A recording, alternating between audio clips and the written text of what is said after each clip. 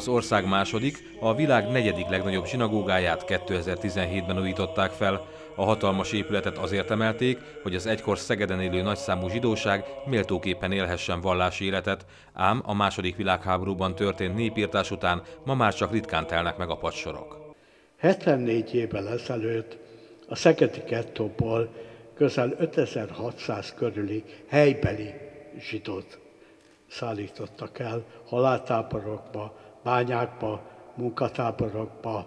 Szabó Sándor felidézte, hogy Szegedet sok tragédia érte. Jártak itt tatárok, a törökök, pusztított Pest is, tűzvész és árvíz, de semmelyik nem végzett olyan pusztítást, mint a második világháború. Az országgyűlési képviselő szerint olyan kárt szenvedett el a város, amit már soha nem lehet pótolni. A város legtragikusabb napjaira emlékezünk ma.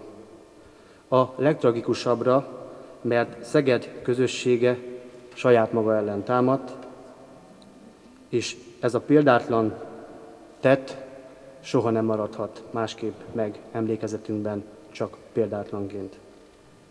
Nem csak azok miatt kell ma szégyenkeznünk, akik aktív részvevői voltak a kegyetlen népírtásnak, hanem azok miatt is, akik tétlenül nézték azt, a társegyházak nevében Benyik György, a Gál Ferenc főiskola tanára arra hívta fel a figyelmet, hogy a holokauszt hatása a mai zsidó hitéletre is kihatással van. Elveszett egy rabbi nemzedék.